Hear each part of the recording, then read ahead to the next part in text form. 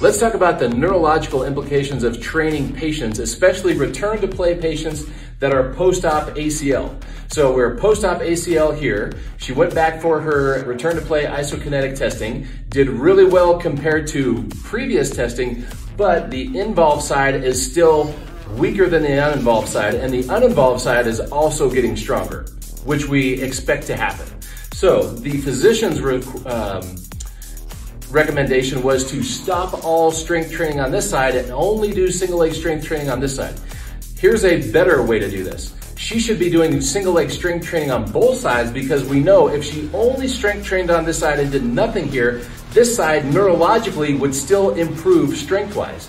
So rather than doing a double leg squat, with her strength training at home and when we do strength training here. She's doing single leg squats, so there's no compensation by the uninvolved side to kick in and help out. So now we're targeting both sides, but we're still going to strength train both sides because as this gets stronger, it's also going to help this get stronger, although this side will continue to be a little bit behind here until we get about nine to 10 months out from being post-op.